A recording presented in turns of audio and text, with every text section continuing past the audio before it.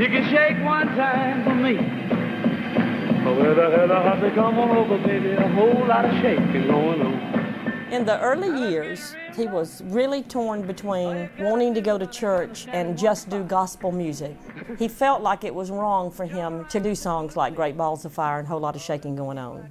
He was fighting that back and forth every day. Despite Jerry's very real fear of eternal damnation, Great Balls of Fire sold a million copies in 10 days. He celebrated by sweeping young Myra off her feet. He comes home and here it is, and I looked at it.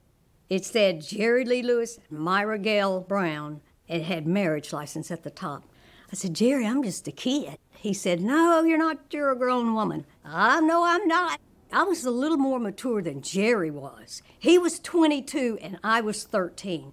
I was the thinking adult in that relationship. The next day, Jerry Lee told J.W. he was taking Myra into town to see a movie.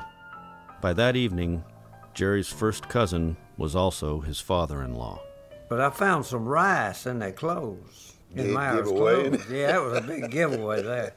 And I said, I'm taking my gun, I'm going up there and I'm going to kill him. I said, I was so mad to think that my cousin had married my 13 year old daughter. That was enough to make anybody mad. It seems the money, the fame, and the glory of rock and roll helped the family heal. All of a sudden, everything was just exploding for Jerry. Bigger shows were coming in, more money was coming in, and that's where the problems began. Our booking agent then, he'd booked us on a tour to go to England. We thought we'd be all right, but we wasn't planning on any of the family going. And, and Jerry said, no, I'm not going unless Myra goes. Everybody was going to Jerry saying, please don't take Myra. Let's just keep this private. Nobody would tell me anything. I didn't know to lie. So when we arrived in London, reporters came over, said, Oh, who are you, miss? And I said, Oh, I'm Jerry's wife.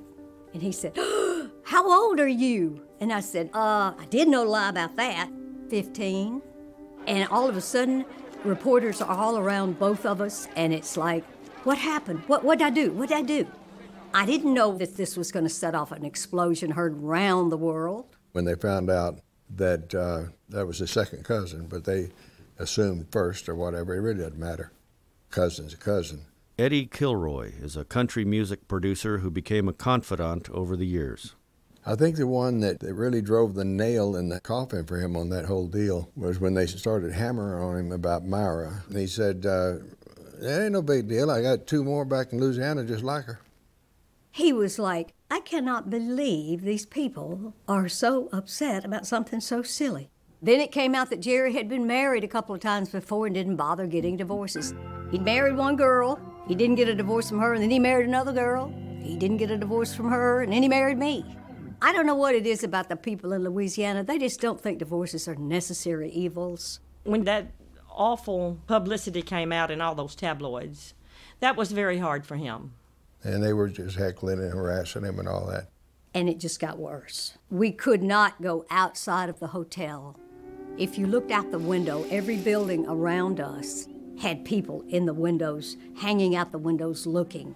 Scotland Yard said they'd like for us to leave because they was afraid that they couldn't protect us.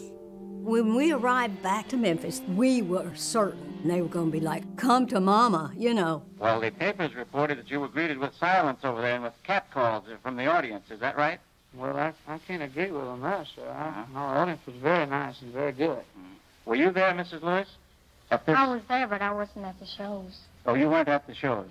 Oh, did you notice anything uh, uh, like that, that sort of reception? No, it was very good reception, I thought. Uh, when were you married? Pardon? When were you married? Well, we leave our personal questions out of this, sir. All right. Well, good luck. Thank you. Jerry had been making $10,000 a show. He's back to making $200.